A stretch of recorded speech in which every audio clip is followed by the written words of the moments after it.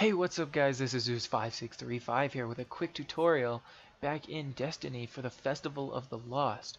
Now what you want to do is we're going to be getting the broomstick, which is the new sparrow that it comes out with. So what you got to do to get it is you got to head over to the tower and you got to go right as soon as you spawn into the hangar area with all the ships and the things like that. Going to head down basically as many stairs as you can find. The farther down you go, the better. And once you go over to here, get yourself inside this ship, you'll see the emotes thing right there. And if you go just a little bit past it, you'll see all these crates. And at, actually, at the top of the crates, you can actually see the broomstick.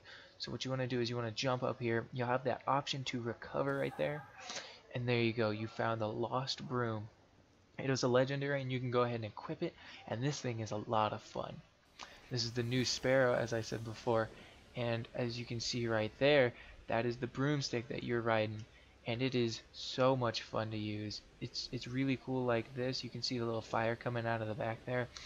But the best part about it is whenever you boost you can see all that light coming out and all the bristles catch on fire and it's just awesome so there you go guys. So if you like this video and you want more like it go ahead and like and subscribe down there and I will see you guys in the next one